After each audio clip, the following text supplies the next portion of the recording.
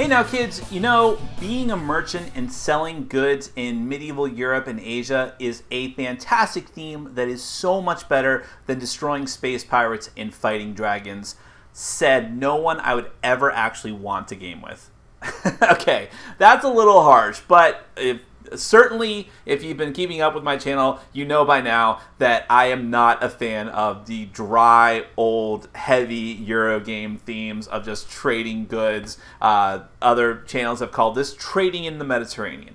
Not my style. Totally not my style. I can appreciate some of them but you know and i do like some euro games but they've got to have a better hook than that. So certainly I was hesitant to try the game we're going to talk about today, which is Istanbul. I mean, look at that cover. Look at that cover. Why would I like that? but but I was encouraged to try it first off by um, Travis Chance, who is the designer of Infamy and the soon to be released Heroes Wanted, both games that I've played, both games that are really, really quite good. Uh, I correspond with him sometimes, and he said that this is a very, very good game. He highly recommended it. And also, this is one of the candidates for the Kenner Spiel des Jahres for 2014. The Spiel des Jahres is the prestigious German award that's giving out to the best uh, all-around general family game that can be enjoyed by everyone. The Kenner Spiel des Jahres is a game given to heavier games that are more gamers games, gamerly games. Uh, the type that hardcore gamers are more likely to try, not necessarily the best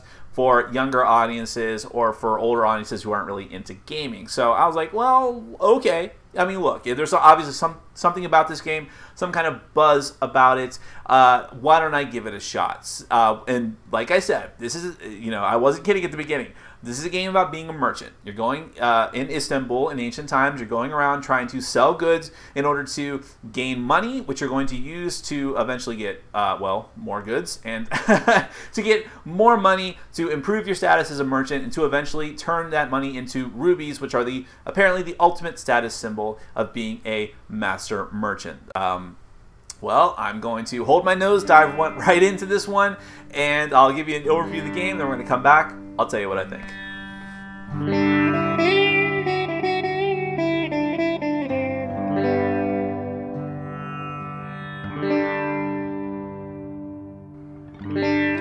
Alright, I'm going to give you a very brief overview of Istanbul. This is a competitive game for 2 to 5 players. The theme is that you are a merchant in ancient Istanbul who is trying to become the best merchant. You're going to do this by acquiring money, using it to upgrade your merchant services, and try to acquire rubies. The first person to get to 5 rubies or 6 rubies in a 2-player game, uh, these little things here, is going to be the winner. At the start of the game, you're going to take a number of discs in your color. You have uh, you start off with five, let me make sure, four, I'm sorry, of your normal discs, which represent assistance, and you also get one thicker disc with a little sticker on it, which represents your actual merchant character.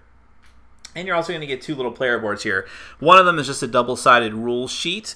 The other, however, is your wagon. Uh, it starts off with uh, enough spaces to hold two of each of the type of goods in the game. You have uh, jewelry, uh, fabrics, spices, and fruits and vegetables, or just fruits. And then you have little spots down here to put the rubies that you're trying to acquire. Remember, you need five or six depending on the number of players.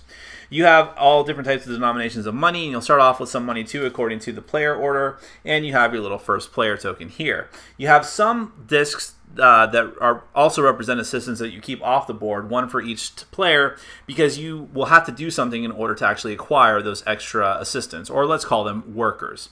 Now on your turn, you can move your entire stack of discs up to two spaces, one or two spaces, unless you have a special ability. Now, wherever you end up, we'll call it the target spot. When you get to that spot, if you want to take the action of that spot, you must be able to drop off an assistant. So you'll literally pick up the rest of your stack of discs with the merchant on top and leave an assistant there. Then you're able to do the action of the spot. And this is how it's going to keep going on your turns. So when your turn comes around again, you can move one or two spaces. And when you end on a space spot where you want to be to use your ability, you have to drop off another assistant. Now, if it ever gets to the point where you do not have an assistant to drop off and you end up on a spot, you must end your turn immediately. It, it, also happens if you just don't want to drop off an assistant. You just end your turn immediately. You don't do any of the other steps. At that point, if you want to get more assistance, On future turns, you're going to have to move back to where you have an assistant, and you'll immediately reabsorb them into your stack, and you'll get to do the action. So you'll have to either do it that way, which is the long and hard way, although you might want to do it if you want to do all those actions again, or you can go back to your starting spot, which is the fountain. If you ever move back to the fountain, you'll be able to take all of your discs from across the board back under your stack. All the assistants come back to you, thematically speaking. Now, what do the actual spots on the board do? Remember that your goal here is to try to get these rubies in the best way possible, and there's multiple different ways to do that. The most straightforward way, I would say, is the gemstone dealer. There's a little track here. I know it's kind of hard to see. Um, you'll fill this up according to the number of players, but you'll have a little symbol with a coin on it. That indicates the cost you have to pay for the gem right underneath it. So at the start, if you're playing in a four, uh, four or five player game, there, I'm sorry, four, yeah, four or five player game, then you'll pay twelve dollars, twelve uh, lira, and you'll be able to take this ruby and put it onto, or gem, or whatever you want to call it, and put it onto your wagon. But then you see that that uncovers the next spot, which says 13. So the next person, if even you, who wants to buy the next ruby has to pay 13. And so on and so on. That's It's going to escalate until at the very end it costs 23 in order to buy the last gem. Now, other spots where you can get it. Uh, the wagon. Now, the, the Wainwright, this spot here. So when you go here, you can pay seven dollars, seven lira, in order to buy a piece of wagon. You'll actually, this is actually one of the neatest things about the components of the game. You actually take the little wagon piece, stick it into your player board. You can have a total of three of them. And this does two things. First off, it increases the amount of spots you have in order to gain goods. Um, actually, I'm sorry, I don't have the uh, little cubes out here, but there should be cubes here that indicates uh, that you'll be able to keep track of the goods that you have, and you'll be able to move them up. If you don't have extra pieces of your wagon, you'll be limited to two. But the more that you get, the uh, wagon sp spots that you get, the more goods you can carry at one time, which is really good because when you're moving around the different spots trying to sell your goods, you want to have as many as you can at a certain point. But if you ever are able to get a total of all three of your wagon pieces and you complete it, not only is that good for having goods, but as a reward, you'll be able to take one of these gems here, put it on your board, now you have another point. You can also go to the Sultan's Palace. The Sultan's Palace has little icons indicating different goods. Um, you need to turn in every good up until the point where the next ruby is in order to gain that ruby and put it onto your player board. So for example, at the beginning here, you need one jewelry, one fabric, one spice, and one fruit, you're able to take the next gem. But then the next person that wants to acquire a gem has to put forth one more good of any type. Then the next person has to put forth another jewelry, which is the rarest type of good to get, the hardest one to get. So you can get jewels gems that way, but it's going to get harder and harder. Now up in the top corners of the board you have the Great Mosque and the Small Mosque, and these have player tiles on them. These are special powers that you're able to get once you acquire the tile. But in order to acquire the tile, you have to have a certain amount of goods. There's four tiles for each special power, and they escalate the amount of goods that you need in order to get them. So for here, you need spices. The first person that wants to get the first tile needs two spices, then you need three, then you need four, then you need five. Now you only need to prove that you have that many goods, and then you just have to spend one of that type of good. Even if you get the five tile, you still just have to prove that you have five, then spend one of those five in order to get it. You'll take that, put it on your board, and it'll give you a special ability. If you gain one of each tile from each of the mosques, you'll get to take one of the gems there, put it on your board. That's another way to get gems, which are victory points. What some of the powers do, uh, here you're able to, uh, if you go to one of the spots that gets you goods, you're able to spend two lira to get any good of your choice. Um, this one here, there's a couple situations where you'll need to roll dice in the game, uh, hence the dice that I have right here.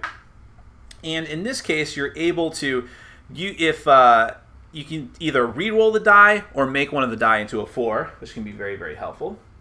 Over here, you can spend two lira to summon one of your assistants back to you instead of having to go back to the fountain or go back and uh, conglomerate them again the hard way. And this one is very simply you are able to gain your worker. You can only have one of each of these tiles, obviously, and remember that the goal is to have both of them from each of the moss in order to get the most gems possible. Uh, the other really unique spot on the board is where you see these other little cylinders, these are your family members. Thematically speaking, and it's pretty weak thematically speaking, is that these are like your nephew or niece who have gotten in trouble with the law and they've been arrested at the police station. And when you go there, you break them out of jail for free. Well, you either break them out or you you uh, you plead with the person there in order to let them out.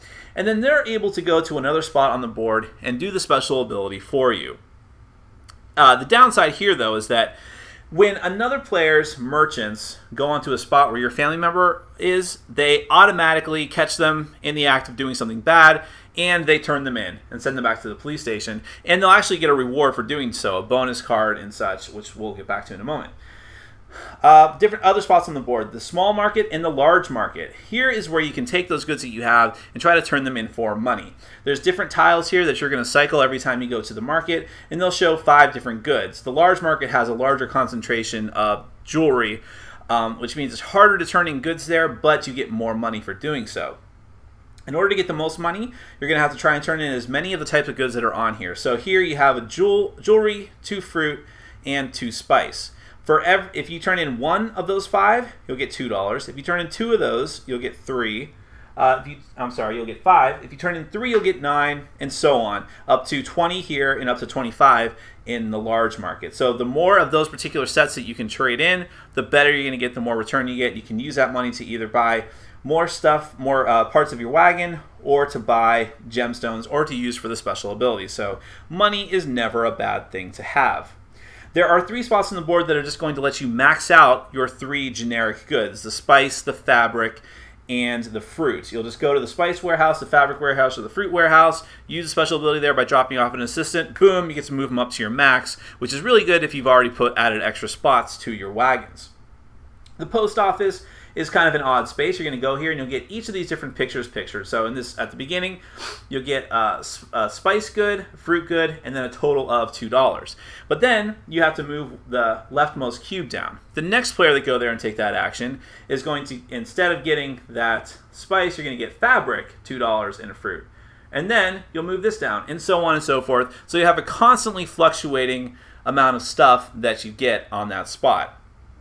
The black market is an interesting place where if you go there, you'll get one of the three generic goods of your choice, and then you roll the die.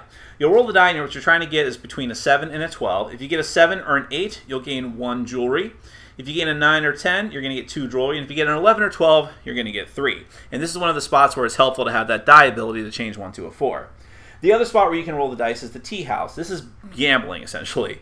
You're going to bet a number between 3 and 12 and hope that you get – uh, either greater than or equal to that number. If you do, whatever number you bet, you're going to gain that in money. If you don't, you get $2 as a consolation prize, so it's not totally worthless for you. And let's see, what else have I not covered here? I think the only thing I haven't covered so far is the caravansary. Now, the caravansary is where, uh, at the beginning of the game, each player is going to start with uh, these bonus cards here. And if you go to the caravansary, you're going to be able to draw two more bonus cards, uh, pick one of them. I yeah, you'll pick one to discard and keep the other. And the bonus cards are useful. Just they have a variety of special abilities that are going to help you during the course of the game. So I'll just go through with a few of them here. For instance, this one here is going to let you. Uh, sorry, just check here because I forget what some of these do. You get to return one of your assistants to the merchant stack just by playing these cards. You can play any number of these cards on your turn as you like. Um, this one is going to let you go to one of the merchant house, the small market or large market, and turn in any good that you want in order to uh, satisfy the needs of the market and get the money, uh, the corresponding amount of money. Um, this one, if you're if you're at the gemstone dealer, you can carry out that action. I'm sorry. if you're at the gemstone dealer, you can carry out that action twice. This one simply simply gives you five dollars. Um, this one lets you carry out the mailman action twice, and so on. That's that's mostly what they do. Some of them let you move extra spaces. Uh, but when you discard one, you'll actually put it out here on the board. Then when someone else takes the action, they have the option of taking from the discard as well of, of the, uh, the total stack of cards. The only other thing I haven't really mentioned are these two other cylinders out on the board, which are the governor and the smuggler. At the beginning of the game, you'll randomly place these out on the board by rolling the two dice. Uh, each of the numbers corresponds to different spots on the board. And when you land on one of those spots, in addition to taking your action, the last thing you can do is have an encounter with the, either the governor or the smuggler. Also, if there's a family member there, you might have an encounter, quote unquote, with them and arrest them. But if it's the governor, you can choose to draw a bonus card from the face down deck and put it in your hand. But in order to do so, you have to either discard one of your bonus cards or pay $2. If it is the smuggler, you can gain a good of your choice, but again, you have to either pay two or trade in another type of good. So that's really the whole game. Um, oh, I'm sorry. One other thing. If you land on a spot that has any other merchants on it with your merchant, you have to pay every player's merchant that's on that spot $2. If you refuse to do so or you can't do so, your turn ends immediately. So this game encourages you staying away from your neighbors as much as possible unless you really want to pay, uh, pay them. But that's it. You're running around the board. You're trying to gather money in order to and gather goods in order to eventually build yourself up into getting as many of the gems as possible. The first person to get to five gemstones is the winner, or six in a two-player game. That's Istanbul. All right, let's take it from the top, work our way down. First off, components, really like it. They did a really good job with this. The uh, the boards are really heavy cardboard with uh, really good quality artwork on. I like the artwork in this game quite a bit. Um, that can be a sticking point in a lot of different Euro games. They did a good job here. The design, the graphical design, all looks really good. Uh, good quality components. The wooden discs that everyone used to represent their merchants and their assistants moving around. Um, the, while those certainly aren't the most uh, fantastic, amazing, interesting components, they were pretty necessary here simply based on the nature of the game, having to stack them up and move around.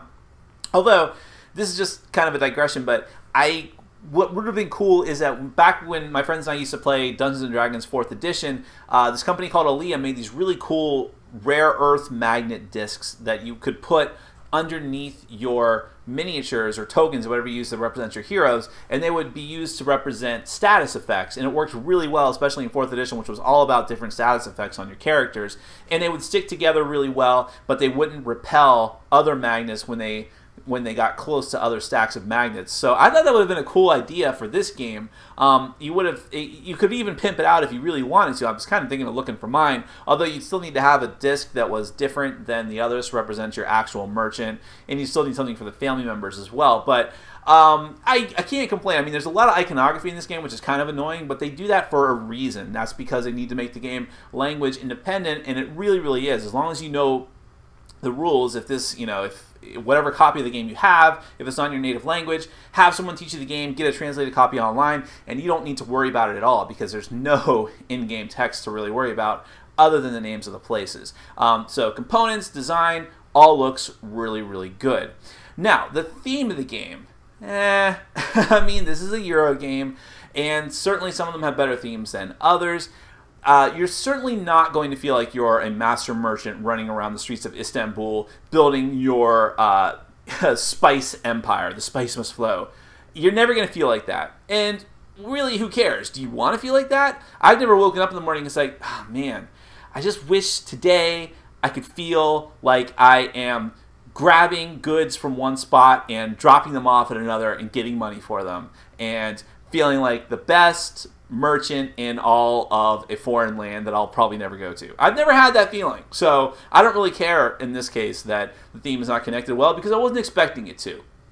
So let's go right into the mechanics. I like this game a lot. I do. I like, uh, I mean, it's simple.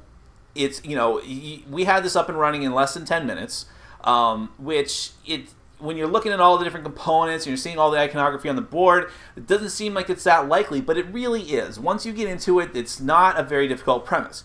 You're moving around the different spots, dropping off assistants. If you need to do more actions but you don't have any assistants left, you go back and get them back. Either you, you hop back on them or you try to get back to the fountain well and bring them all back to you. And while it's not the most thematic thing in the world, like I was just saying, it all works together pretty smoothly. I like the mechanics of this a lot. Um, it's it's a race. I mean, more. I mean, you can say a lot of games are a race in a way because most games, especially Euro games, have a limit how many rounds you're going to play or the point threshold, something like that. But because the point threshold here is so low, five rubies uh, or six in a two-player game, then that means that it feels there's more pressure on you. But I like that because it keeps the game from dragging out too long. This is this can be very brief.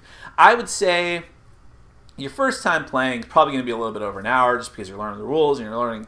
Uh, there's probably going to be some AP analysis paralysis as you're trying to figure out the best way to plot your route. But uh, the second game of this that we played, much, much faster. And I think that if you play even more games of it, gonna, you're going to cut that time, time down drastically, even if you are playing with four or five players. Because it's pretty intuitive. I mean, you pick, a, you can kind of pick a strategy at the beginning of how you're going to do it. And that's what I like, too, is that you have different routes to victory. Like the first game that I played, I decided this is kind of sort of a worker placement game. I'm going for more workers. Always go for more workers. And I did it, and it was kind of working for me in the beginning, but I found that my engine stalled later on. I like I got to three rubies before anyone else did, and I thought all I need to do is maintain this lead. But I couldn't maintain this lead because I didn't worry about my uh, wagon. I didn't get more slots for my wagon, which meant that I couldn't hold more goods, which meant that I was making much less money than the other players, uh, you know, in a much slower rate. Which meant that I was going to have a much harder time as, as well trying to get the other tiles from the mosques, which were going to be so I couldn't afford to get more rubies from the um, the gem dealer, and I couldn't have the spots in my uh, wagon in order to go and trading goods to get from the mosques, the tiles from the mosques, which would let me get more rubies. So there's lots of different ways to get rubies, but you have to plan it out. You, know, planning that route is all important. Um, and you, if you don't plan accordingly, you are going to stall, which can be a frustrating experience. But be, like I said, the game is not too long and it feels fast. The turns go around very quickly um, especially if you know what you're doing. Excuse me. uh, I'm in Florida. There's mosquitoes. Um, so I really enjoyed that aspect of it. That it felt fast and fresh and unique, and like I always had something to do and different routes that I could take. Um, if I had a complaint about the game aside from the theme, it would be that again that race aspect. It can feel like oh, I finally got my engine going and the game's over. oh, you just won. Okay, great that can be a little demoralizing. But again, that is the penalty you pay for not being that guy and doing better and having your engine going better. I think that this game, um, even though it's for the Kenner Spiel des Jahres, which is supposed to be a more complex game, like I said, it's relatively simple, but I think there's enough depth and strategy here that it can keep gamerly gamers, as I like to say, coming back to the table.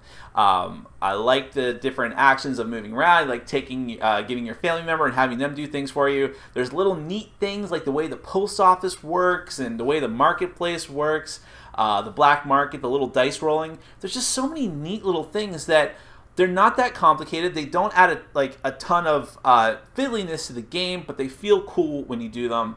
Different things you can do, different aspects. There's a surprising amount of game in this game, and it's going to go down as one of a select few Euro games that I really really enjoy. I'm I'm really looking forward to playing it again, and that's probably the highest praise that I can give to any game because I play so many new games that it's always on to the next thing. But I'd like to revisit this one before I play anything else. And for me, that's a pretty good sign that it's a pretty decent game. My name is Nick. This has been Board Game Brawl, and I'm reminding you to get out there and game every day in every way. Take care.